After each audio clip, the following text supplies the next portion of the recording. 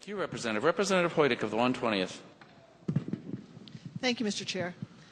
I'd also like to thank the uh, members of the General Law Committee, the chairs, and the ranking member for um, a great bipartisan effort and for uh, providing a bill that will help many of the constituencies in Connecticut. And to that, I lend my support to this bill, and I'd like to share with you a success story that incorporates a real estate transaction of over $2 million, $2.85 million to be exact, brownfield redevelopment, small business development, and job growth in the state of Connecticut for 70 jobs. And I'm talking about Two Roads Brewing Company, which is at the junction of Stratford and Bridgeport, and it happens to be the site of the U.S. Baird facility.